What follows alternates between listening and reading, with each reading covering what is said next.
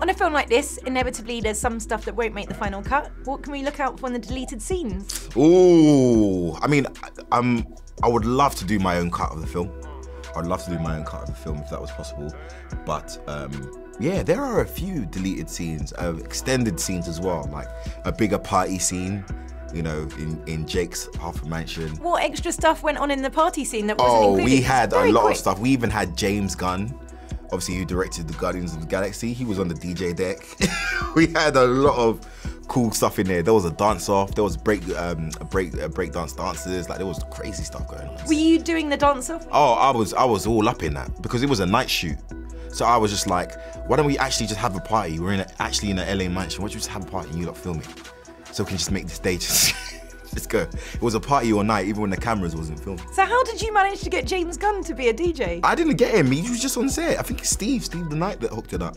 And he was just on the DJ deck. I was just like, it's the guy that got us Chris Pratt. Do you think there could be any kind of mashup? Perhaps Pacific Rim mashes up with Guardians, or you go into Guardians? Lord, uh, nah, nah, nah, nah. I doubt that. I doubt that. That's with the contract gods. I would like it if you could be in the next Guardians. I feel like this is. Oh yeah, be in space again. Jesus, you lot won't let me be on Earth for one second.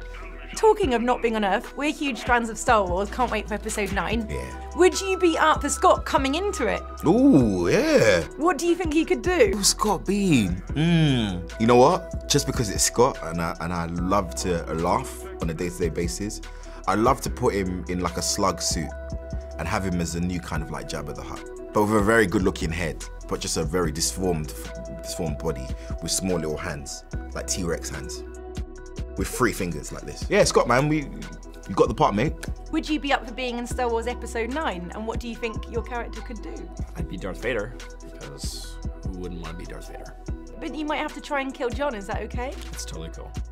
Totally cool with that. He said maybe he'd be up for Darth Vader. Ooh, ooh. Oh man, no, no, there's no worries about that. I'd be running in the other direction if I saw him in that.